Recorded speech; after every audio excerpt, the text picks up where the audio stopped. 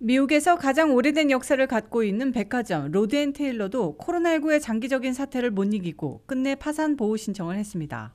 기업들이 코로나19 여파로 경기 침체가 지속되면서 올 상반기 파산 보호를 신청한 기업이 약 3,600여 개로 지난해와 비교해 26%가 증가했습니다.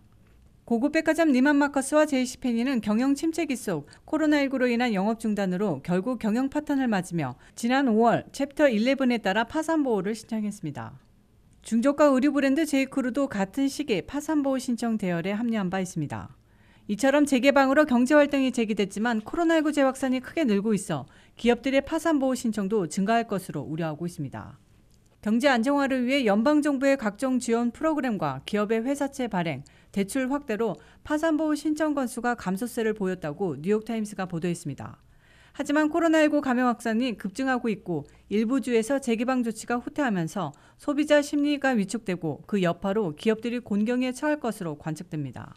지난 7월 초 의류 브랜드 브룩스 브라더스가 파산 보호 신청을 했고 남성 의류점 조스에이 뱅크, 주방업체 썰라테이블, 여성복 소매업체 뉴욕앤 컴퍼니 등도 코로나19 팬데믹에 따른 매출 감소를 버텨내지 못했습니다.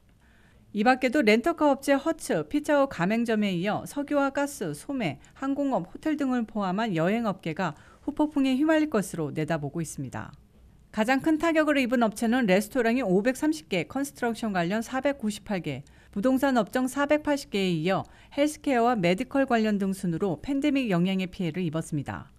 올 상반기 파산 보호를 신청한 미국 기업들이 8년 만에 최고치를 기록하면서 스티븐 무누신 재무장관은 피해 기업의 추가 대출 지원이 필요하다고 강조했습니다.